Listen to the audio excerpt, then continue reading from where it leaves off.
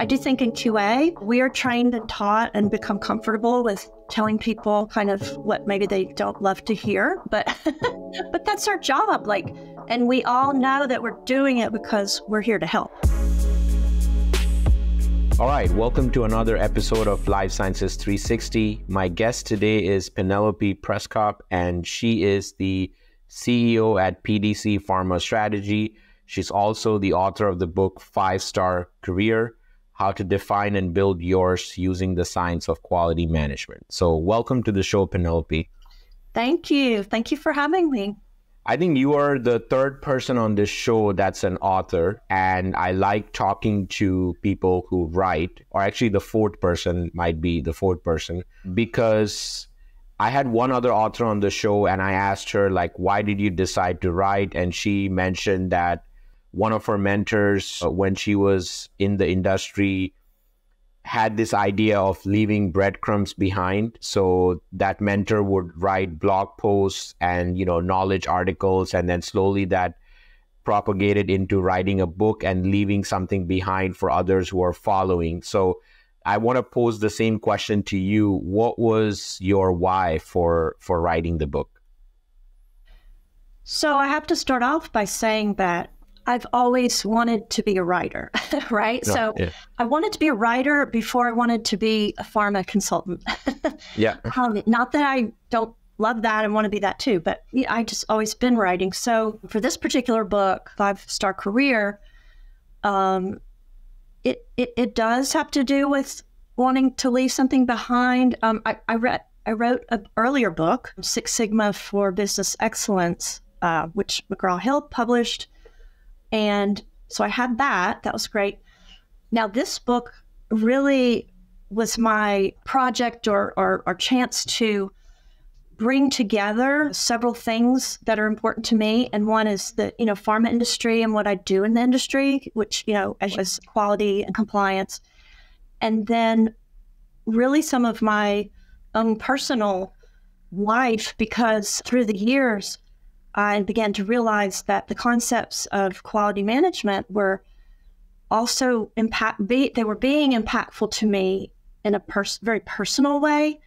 And, um, that was just super important to me because I, I grew up in a really unstable home and um, basically had childhood trauma and that I was dealing with. And um, there's just so much I learned about quality management that I internalized, and it, it was just really powerful. And so this book really brings that together, right? And, and I'm just so passionate about the science of quality management and that there's so many other applications for it that you know people are not really really focusing on or thinking about and and so that's really what I want to talk about in that book. But I do talk a lot about the pharma industry. It's my examples and um I mean a lot. So so it, it's all tied together. So it's really important to me. Is there a particular role or a particular project or a particular period in your career when you were in pharmaceutical or life sciences industry that has a long lasting impact on you it's like 20 years from now you could remember that day like it was yesterday you could remember the the people like any any particular moment in your career that that had a long lasting impact on you yeah i mean there's a few but um i mean this probably doesn't sound very impactful but after I'd been working for maybe five or six years and I was young and it was kind of like I finally have more than one thing on my resume, you know? Yeah, yeah, yeah. Had, but I had already, my whole career, I've, I've really had the opportunity to work across functions. And even already I was doing that. And at that time, I, I was like, this is terrible. I, I know people that have been in data management for six years and now they're ready to move up. But I've done GLP lab and I've done uh, GCP auditing and I've been in regulatory affairs. And I was like, oh, worried. But then it really struck me that there was such a common thread through everything that I had done that was quality. And I said, this is what I like. And it, so that was, it was just one of those moments where I felt like, okay, now I know where, what my road is, right? And so that's why it was real impactful for me. And I just I, I remember the exact moment when. So that was really important. There's other things, but that was early on. And you've been in the industry way longer than I have. So I want to ask you this because you probably have a different answer to this than I would have. Uh, how have you seen quality management evolve from like your first role in quality to where you are today? Yeah. I, I know that's a loaded question. No, but... I love that question. That's my yeah. favorite question because I just, I don't, sometimes I'm like nerdy about it. I, I really have, it's exciting to me now that I've been through this whole transition, right? So when I started out, for example, in my very first quality job, I worked at Hoechst Roussel. I don't know if anybody still, that was a big pharma company. And my boss was working with the group who were first putting together ICH guidelines. Like nobody knew what it was. You know what I mean? It was like this group of people. And one of the things that she had me do for her was review, and it was like these two pieces of paper with a ruler, make sure that what they were writing down, like some parts of the regs that were exactly right. It was just a easy QC kind of thing. But now when I look back and I think, of course, I didn't write them. I wasn't on the committee. I was just real young then, but I was like, oh, I actually was had a little piece of doing that. And it's just really neat. But anyway, so uh, that was kickoff of it. And then um, as far as quality management, there's QA and quality management, which of course are very dovetailed. Um, but I've really seen a transition, and I don't think we're all the way there yet, of even Q, a lot of QA individuals really understanding the overall quality management science and concepts. And, and I have a master's degree in that, right? So I, I know that stuff. And um, when I first heard about it, I was working at Covance and I heard about, I think it was the QSIT, the GMP, that QSIT program, uh, GMP. And I was reading it, and everybody was saying, well, this doesn't apply to us because I was in clinical data management. And I was like, well, this makes a lot of sense. When I started reading, and I learned about Six Sigma, and I wanted to go to the training, and they sort of like laugh. And they're like, oh, that's really expensive. We're not letting you do that. But then I was like, oh, but I could get you're going to pay for my master's degree. and they're like, oh yeah, we'll pay for that. So, anyways, that's so I ended up going and studying that, but but that was all sort of um, just very pe- people in clinical were just like, well, that has nothing to do with us. We, nothing. But we know the whole history of how I not ICH, but well, ICH, but the quality management came into industry and all that. I mean, absolutely is the foundational concepts for all of the regulations that we have. Yeah. So, anyways, I don't know if that was a great answer, but I mean, because I could talk for hours uh, for that one question. yeah, but, that's that's a that's a good that's a good segue into kind of another related question I had, which is obviously since you started in quality and where where you are today working with clients or working on projects, I'm sure you've seen the use of technology be 10x or 20x from when you started in your career. And now with we've seen like fda is writing guide not guidance but like knowledge articles on use of ai or use of automation those kind of things maybe internet of things smart manufacturing like all of these technology advancements. So what is your like what is your take on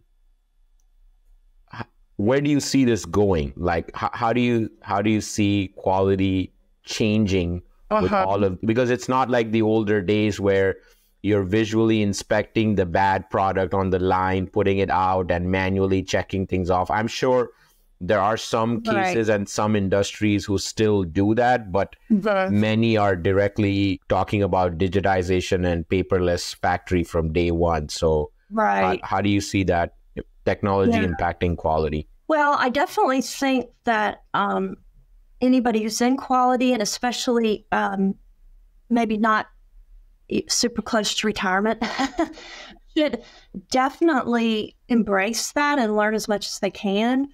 Um, I, and I think that's easier for the younger generation. I kind of think of it as like my age, and then the middle, and then the the newbies, right? The newbies are very technologically savvy and comfortable, right? So, um, I, I just I just do feel like I know going through it myself and other colleagues, we we kind of resisted some of it, although I don't think I strongly resisted. I thought it was exciting, but we just can't do that anymore if there's anybody doing that. So, because you might say, oh, yeah, well, I know I'm okay, but now there's AI. I mean, it, it's it's going to just keep going, I'm sure. And um, I think that uh, QA professionals need to really to adapt and think about, like you said, maybe it's it's, it's going to be a different skill set. And what what I see more and more is um, with all this technology that uh, there's so many people that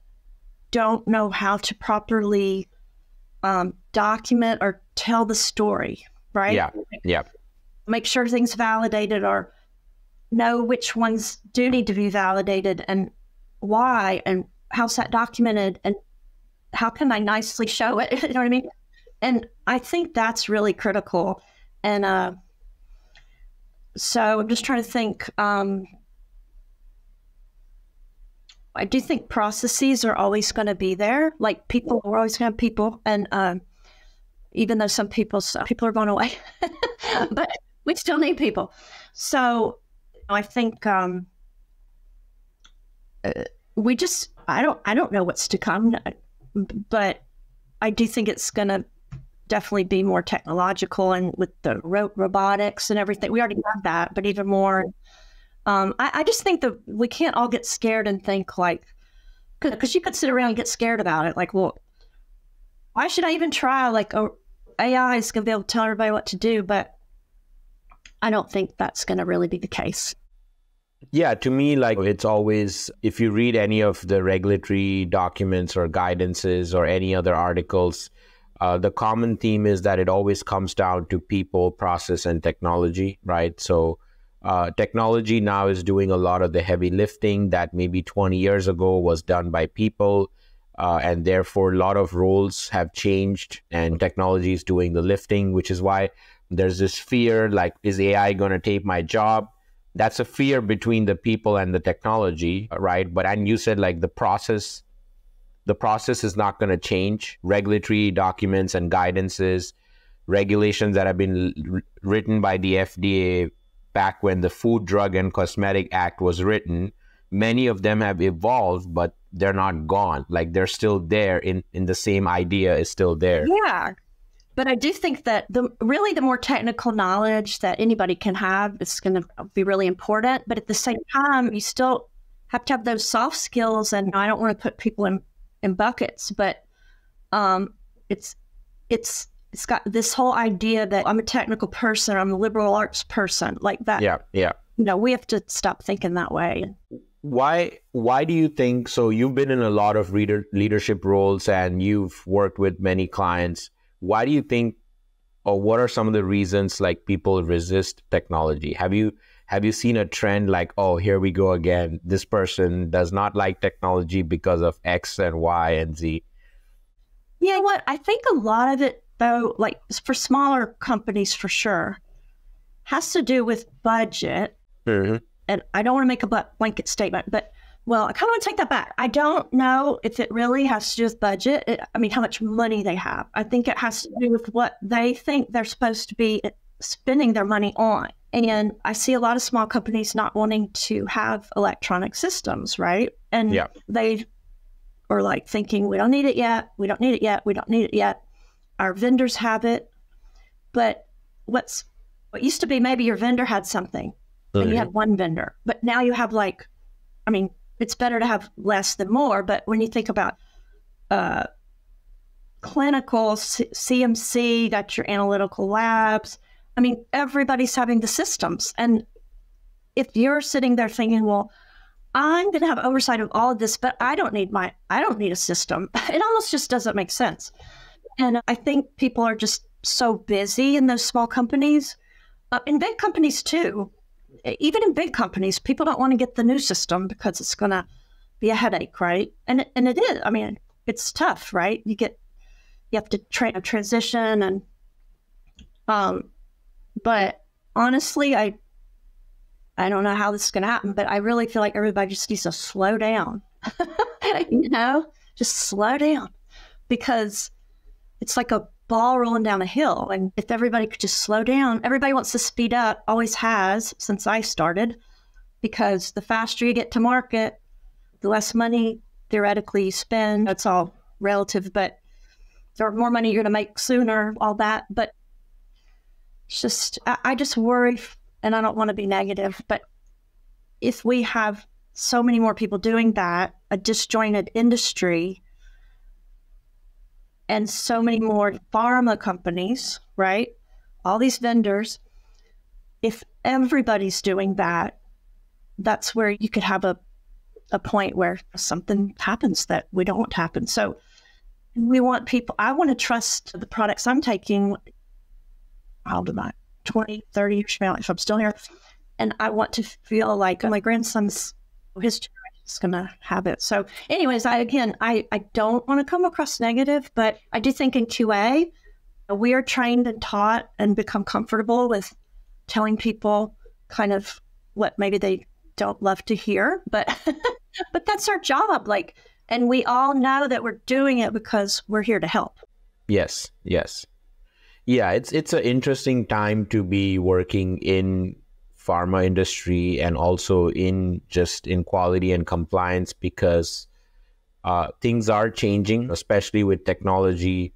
Technology is pay, playing a big part in how things are changing, and I think I had this discussion with another guest or a friend. I, I don't remember, but it's more that the quality role is going to become better and it's going to require people to be more creative and focus more on decision making rather than just executing tasks or documenting something just for the sake of documenting. Like that's still happening a lot, but right. I, I feel like that's going to change long right. huge in yeah. One thing I was just thinking too though is I'm seeing a lot of people who are not um, and I'm just being honest, the best writers, or they're creating forms, even even electronic forms that are not well done, right? Right, and right. It seems like you know when you're, you know, depending on what you're doing, like thinking of how forms created seems can seem kind of silly, right? But it actually there's so many reasons why you need to have a good form you know because that is your documentation for later and so i do think people you know of course with focusing on technology and being flexible and like you said creativity i don't know how we're going to do this but you know i'm hoping in the school systems and whatever you know that people do continue to embrace like writing and how to logically look at something. Does that make sense? Because I think a lot of QA people, I would imagine, you know, I'm just kind of imagining, but say everybody's, it's all technology. Well, then you've got to have these people that understand that, but also understand still how to document what happened. And, you know, it's just going to be a different format or what have you. But I see a lot of issues with that, though, that people are still just not capturing the right information or so. Um, so I want to I want to get some thoughts from you because I was in the industry for 15 years and then last year I had I wouldn't call it like a moment but it was just like a time where I felt like okay this is I've had enough I need something different I don't know what it is but I just cannot like go from one role to another or just get promoted or go to a different role and then I'm I'm going and then I'm just doing similar stuff right. in a different company. So I I would I I can put it as I wanted a new challenge. Maybe mm-hmm. that's a good way to put it. And I was like, okay, I'm going to give myself 12 months and see how this goes and if it doesn't go well, I'll go back to what I'm doing. And that's kind of yeah that's yeah. when you became a consultant yes oh, yeah okay. so so okay. that's when i started cultivate last year to become a consulting company and I'd always been passionate about science and tech. So when I started Cultivate, it was more like, how can I, as a quality professional, embrace technology and do things differently? And then how can I help clients do the same thing, right? So, like, if I can find an AI or automation tool to do a quality uh, task, quality assurance task, how can I then maybe explain that to a client and say, okay, here's how you can also use this tool. We can validate it this way, we can document it this way, and maybe be like one of those early adopters of technology. So I want to I want to ask you since you're also in the consulting space with PDC Pharma Strategy, um, what was like what made you start that and and any advice you would have from your learnings that you can share with me?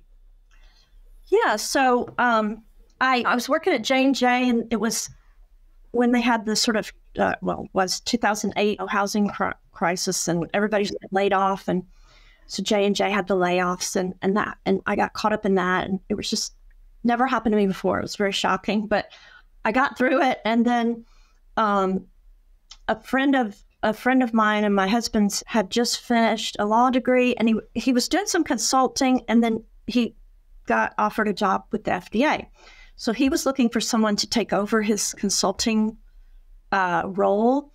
So I did that and I did that for about a year. Then I went back to a permanent role. Like I wasn't viewing myself, I was viewing myself in between, right? So I went back to a permanent role for almost a couple years. And it was during that time that I realized I don't want to do this. I, I, like consulting and um, and then I really started to think about and, and, I had I had quite a bit of experience, you know, already by then, but I didn't know how to get work, right? Um, and I just did a lot of research and I, I started by taking doing subcontracting with other established consulting companies. And it was really good because through them, I really learned sort of the ins and outs of being a consultant. I didn't know anything about how to choose my rate or how to, what kind of contracts I needed. It just wasn't my kind of world before then. So I did that for, you know, several years um, and was doing really well and loved it. And then I, I um, ended up doing a, I don't know if it's an audit or mock inspection with this other person, this man, and he was older and and he was a consultant and like independent, right? And he just told me, he said, You have enough experience, you just need to go out on your own. and he and he kind of gave me some advice and I thought, yeah, I could do that. And um but that also is when I really by that time felt like I had a passion about the industry and where it was heading and um, all the small companies. They, I already was seeing that they didn't know what they needed in terms of like a quality system and everything. So uh, my my master's degree was quality, basically quality systems engineering. So I said, well, I'm gonna just go out there and say, this is what I'm gonna help you with, and and so. Uh, it went well, and I really liked that because I had sort of a, a niche for myself um, but I, I, still do all kinds of things. But, um, but yeah, so I I dipped my toe in it, and then eventually just said, oh, yeah, that's what I need to do. But it is scary, especially. I I don't know if scary is the right word, but like I was lucky I had a partner husband who had a full time job and would have insurance. You know what I mean? So because it, I wasn't working full time like right away. It took me a while before I was consistently working 40 hours a week or more every week, right? See, I think you have to be willing, you have to be realistic and realize you could have some downtime, right? Yeah, that's that's the that's one of the cons of being a consultant that you do have the unpredictability of you don't know if you're going to have the project or contract beyond 3 months. Like you might be able to project 3 months out, but even 6 months a lot can happen in six months. right. Well, and I, I really learned to look ahead. And if I had a contract like that, I would just at the very beginning I'd say, okay, two two months before this is up, I'm gonna start talking to you because if you don't need me anymore, that's that's fine. But I need to know ahead of time because then I Right. will start figuring out my plan. But I see some people don't do that. I don't know. I don't know why. There's different reasons, but and then all of a sudden they're like, "What? Oh my god!" Yeah, so So you, I, I wanted to ask you this about your your book. When you when you wrote the book, what kind of feedback did you get? Whether positive, negative, was there something that people said when they read your book that you want to share with us? That you were like, whatever is it, positive or negative, doesn't matter. Yeah, no, I mean, I've had all positive. I wish I had more, you know, reviews online. I'm working on that. My husband's like, well, I don't know if people that read this kind of book are like always doing reviews. I'm like, yeah, that that's the reason. Yeah, But um, but yeah, no, people have gone out of their way to write me emails, you know, and say, wow, like uh, this really resonated with me. And one thing I loved about that is I had actually one of the a, a younger person who worked for the publisher and was assigned doing something on the book. She wrote to me and she said, I'm not going to forget this book and I'm going to apply this to my life. And it just was really meaningful to me. And then, um, like just recently, a physician I go to that is kind of a friend too, um, he read it. And so he's here, he's like my age and uh, he's not somebody you'd think has a career problem. You know what I mean? He has like two practices and whatever.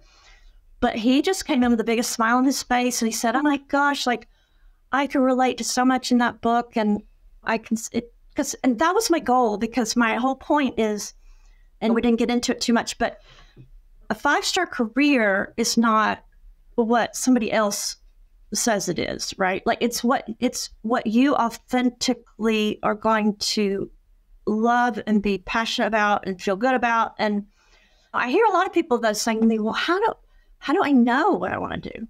and that's the age old question, and it, it takes some time to figure that out, of course. But but in the book, I talk a lot about the decision making and thinking about it, it's it's like you you you kind of you have a good career, but you kind of felt like I don't know. So a lot of people feel that way, and they just they don't do anything about it, and then just eventually they just I don't know. But it's like you have to be s- reflective, self-reflective, and um, kind of think about well, why do I why do I feel this way? And but I talk about that a lot in the book, in terms of how to think about it and um, the decision making in terms of will you stay or go? Like there's a lot of nurses right now. My daughter's a nurse and they love nursing, like they love caring for patients, but they're so frustrated and so burnt out and by the healthcare system and through COVID and and it's like, well, I- then I have to leave. I have to leave the one thing I love. It's helping people. So, and I'm hoping in the future, I'm, I literally want to go to hospitals and talk to nurses and doctors and and just it's a, it's it's like a way to look at it to say, well, let me make this decision, and maybe I'm going to stay, but I'm gonna have to know that this is my choice. So then I have the responsibility not to go there every day and be all negative and like like I know some people say, "What? It's so negative." No, it sounds harsh, but really, you have a choice in what you do, how you feel about it. So it's just, but it's hard because there's so many different scenarios. And but anyways, I'm really happy that these different and somebody, people from different, I guess, age groups and career have come and said this same thing to me, and that is so rewarding to me because it made me feel like, okay, like I got, I succeeded on that message. It's the human human spirit. Yeah, I'm I'm actually looking forward to reading the book. I know I haven't. I'm traveling and I wasn't able to get a copy, but I'm looking for it. Uh, and I, I completely agree with you on the part that a f- five star career or or even just a career is not something like yes people are like growing up in India a five star career was somebody being a doctor or an engineer or going into computers, right? So, like, even today there's a lot of families in India whose where parents stress that their kids go into uh, those uh, STEM fields and then become that. And it it's even it goes even beyond that because then when parents are looking for like arranged marriages and relationships there's more value if you say like oh my son is a daughter or my daughter is a is a daughter like and then there's the signaling of oh they live abroad they live in UK they're a doctor from right. But Harvard who are they really? Right? exactly And- right and- right and I just love to to talk about it because I'm a parent too, and our daughters, we have two daughters, are 11 years apart. So, they, and my husband and I were the same people, but obviously we learned a lot. And we, our older daughter, we used to say, even if you want to be a ditch digger, like if you're happy, you just be the best ditch digger. And and I do understand that in a sense, but I do think it's important to explain to children and young people if you want to be that, that's wonderful. But you have to know all about it. And part of it is you're not going to make the same salary as the doctor. Now, if you don't care about that and you are good at living within your means, then it would might be your life stream. But if you're not good at that and or you really do long to have nice things, that's not bad. I grew up in the South in the US and it's like I remember I was in pre med at first, and it's like almost like I felt embarrassed to act like well, I want to do this because it it's a lucrative career. I mean, that isn't only why I wanted to do it. I wanted to do it for a lot of reasons, but it was sort of like shameful. So, but now we're like, we told our old younger daughter, we're like, follow your passion, but just realize like you have to pay the bills. Oh yeah, yeah. It's it's a you yeah, it's a I mean, we could talk about I I I talk about this topic with a lot of people, people that ask me for mentorship or just even other friends and family. And it's really important because like like you said, somebody might want a career because of all the monetary or social benefits that come with being in that profession, right? Like a doctor or lawyer, like or a surgeon. You might want to be like I read articles where like, oh, here's the top 10 professions in the US and you have surgeons making like 400, 500,000. But like, if you have somebody in healthcare, like my wife is in healthcare and she's like, yeah, do that. They have to work 16 hour shifts right. and they shower in the in the hospital and some of them even commit suicide or they crash their car because they're basically sleep deprived Yeah. and they have to do a surgery. So like there's everything as a behind the scenes that right. But the yeah. point is, if I do think there's people who love their career and because they make a lot of money and that's what they love, it doesn't make them a bad person. And that's wonderful. So it's, it's just, I don't know. I, I really, when I first started working, I was working in the lab, and now I'm so glad that I did because I have a degree in biology. I know how the lab works. I know GLP and everything, so that's very valuable to me. Um, but I didn't particularly like it. I, I knew I wasn't going to progress unless I got a PhD, right? Yep. So at one point, I just thought, well, I don't really want to come to work every day, but since I have to, I'm just going to focus on doing the best I can so that I can move up. Now, for me, it wasn't even about money. It was, I want to move up so I could do something else. So I could, I didn't like people looking over my shoulder either. And I thought, if I move up, I'll have less people peering over me, you know? And Yeah, yeah, so everybody yeah. has different motivation. Um, but anyways, my, my book, I, I sounds, sounds so conceited. I love it, but I do love it because it really gave me a chance to express. Ag- Again, we didn't say too much about it, but this all comes and aligns with the science quality management because what five stars, what quality is, is literally satisfaction, right? You're going to be satisfied with that product. So, this is the way around the world, governments, armies, like industries, they literally have a science that says we're going to be able to get what we want, what we envision. If we follow the science. So why would people not do it? that's what I'm like, that makes sense, right?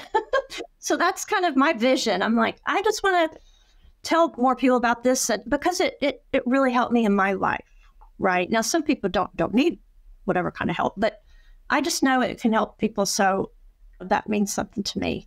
And that's like a breadcrumb, right? That I can leave behind. So yeah, yeah, that's really great. And yeah, I know we're over time a little bit. Yeah, thank. I, I really want to thank you for coming on uh, to the show and sharing about it. And then as soon as I get the copy of the book, I'm looking to dive into it. For our listeners and viewers, how can they connect with you? How can they grab a copy of your book? Do you want to share those details? Yeah. So, um, the easiest way to kind of find out everything is my sort of personal author speaker website, and that's literally just my name, PenelopePrzekop.com.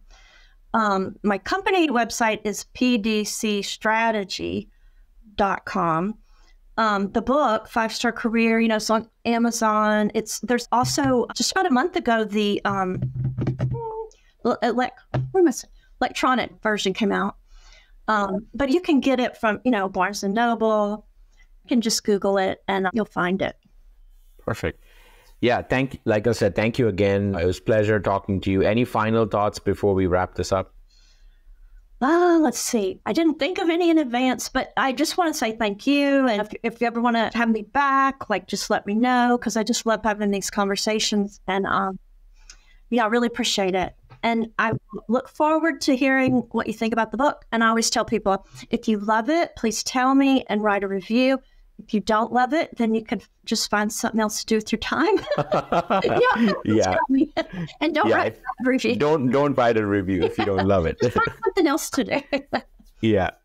No, I'm I'm sure with with your experience and career, if you put all, if, I'm sure you have a lot of uh, insights and experiences and stories that you you've probably packaged and put into that book. So I, I know that as a fellow industry person and quality professional, there's something in there that yeah. I can learn from. Yeah. Oh, and I just, I'm sorry, I have one last thing that just came to me.